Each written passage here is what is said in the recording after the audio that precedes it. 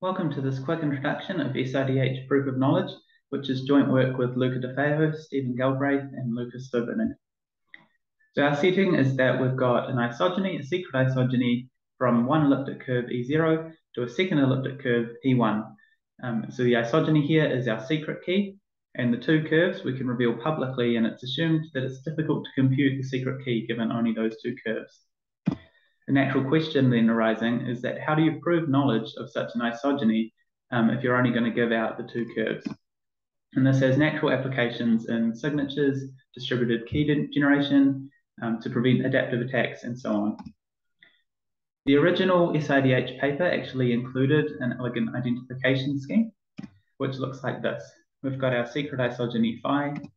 We pick a ephemeral psi to a different elliptic curve E2, and then we complete what's called an SIDH square, where we are essentially doing a key exchange with ourselves. And we both both these paths commute and arrive at the same elliptic curve E3. We commit to E2 and E3, and then we receive a single bit challenge. Challenge equals zero, we provide the two vertical sides of the square, which are ephemeral and shouldn't reveal anything about the secret.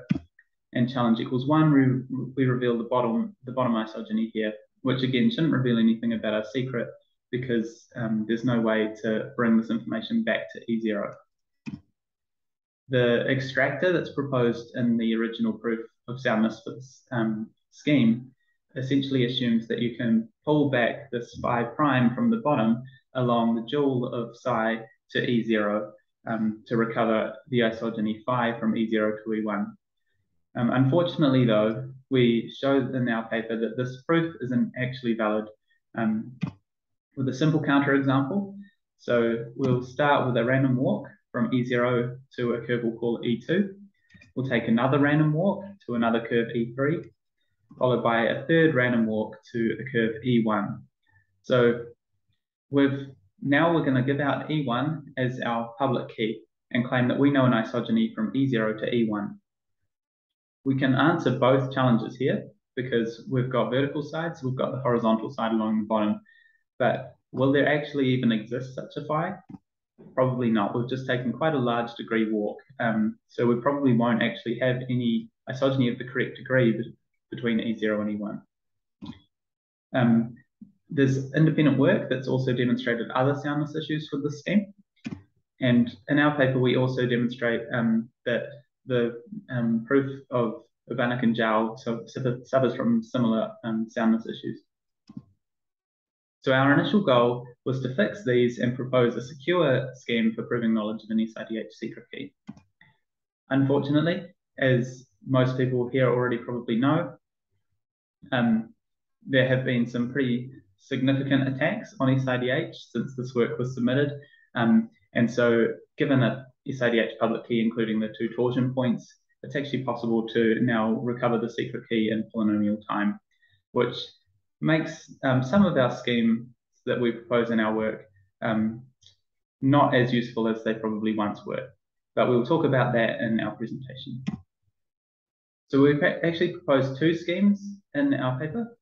The first is a um, zero knowledge proof of knowledge of an isogeny of fixed degree, um, L to the E, some smooth degree isogeny between two curves.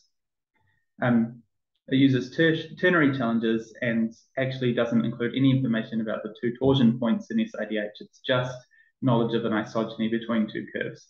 So this, this scheme is actually completely unaffected by the attacks on SIDH. Our second scheme, though, um, was designed to prove correctness of the torsion points in an SIDH key to prevent attack attacks like the GPST attack. Um, so unfortunately, because this scheme requires um, giving out torsion points, the um, polynomial time key recovery attack does apply to this, this protocol. However, there have been um, variants of SIDH proposed since the attacks, hiding the degree or the um, action on the torsion basis. So it's um, likely that our second protocol can still be adapted to prove non-trivial statements um, about SIDH variance keys. So we look forward to having you come to our um, presentation and giving more information about our protocols and um, the uses thereof. Thank you very much.